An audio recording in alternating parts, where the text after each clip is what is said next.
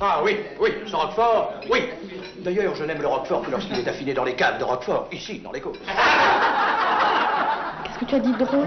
Non, non, c'est parce que tous les roqueforts ils sont affinés dans les caves de Roquefort. Et on a le droit de l'appeler Roquefort que s'il a été fait ici, à Roquefort. Pourtant, il me semble en avoir mangé qui venait d'ailleurs. Alors là, c'était pas du Roquefort. Hein. C'était quoi alors? Euh, un fromage. le Roquefort, il n'y en a qu'au monde. Alors,